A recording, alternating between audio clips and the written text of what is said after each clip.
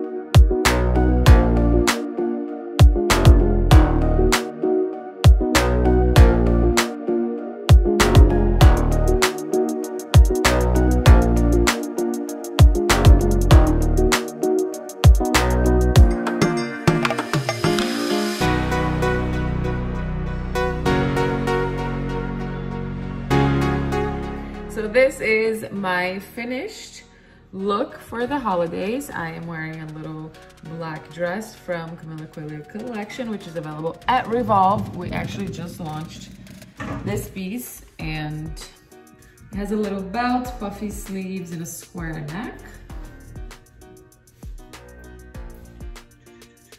it is a jacquard fabric, so it's more structured on the body. So beautiful.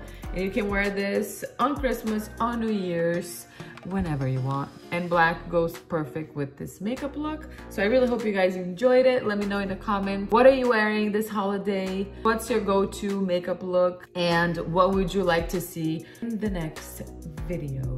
Love you guys. And if I don't see you before Christmas, happy holidays. Merry Christmas for you that celebrate Christmas. Happy Hanukkah. Happy Feliz Natal. um, I love you, but I will see you again next week with a New Year's makeup look.